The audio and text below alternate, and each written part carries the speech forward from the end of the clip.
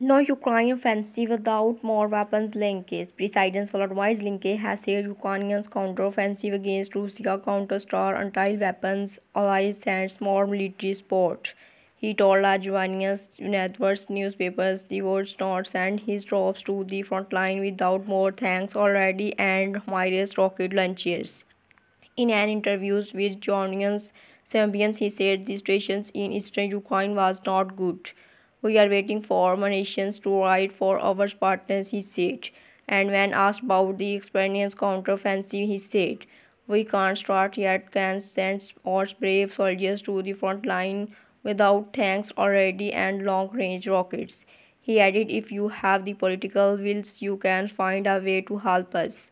We are at war and can't wait. There has been talk for some weeks of Ukraine launching a separate offensive against Russian forces. Ukraine commanders have hits in might be emitted. Alexander Sorokin's commanders of Ukraine ground forces said this week it might come very soon. Some analysts say Ukrainian military talk up the idea of a counteroffensive to accommodate their Russian counterparts. This wants Russian commanders to separate their forces thoroughly along the front line. Ready for any attack, there's the constant theme is particular place such as the eastern city of Bakhmut.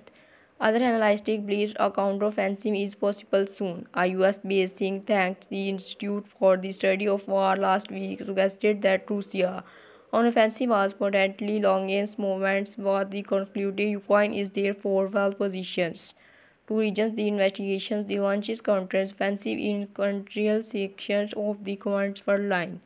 But President Zelensky is more pragmatic. He had often warned that wars could range off their ears unless weapons allies period of the reliably easy weapon.